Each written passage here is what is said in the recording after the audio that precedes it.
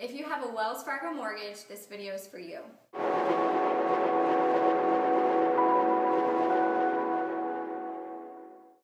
Hi, this is Megan Shaw, broker and owner of Signature Realty Solutions and Property Management. We're the top brokerages in the Phoenix metro area and our team specializes in short sales. A short sale to us is just like a regular sale. It's a, you're a regular seller, it's just gonna involve a little bit more documentation. We call it unapplying for a mortgage. So all that same documentation you use to apply for the mortgage is going to be needed. We can provide a checklist for you from the bank to get started. Then we put the house on MLS to get an offer. That we choose an offer, we send it to the bank, then the negotiation starts. Right now it's typically three to four months time frame. We do have some that go shorter, we do have some that go longer. Just depends on the bank and everyone's current situation. Give us a call, we can walk you through it.